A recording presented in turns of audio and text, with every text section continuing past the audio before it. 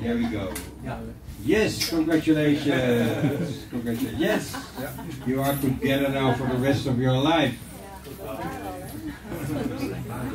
Now, when you come back next year on your own, you get a refund, okay?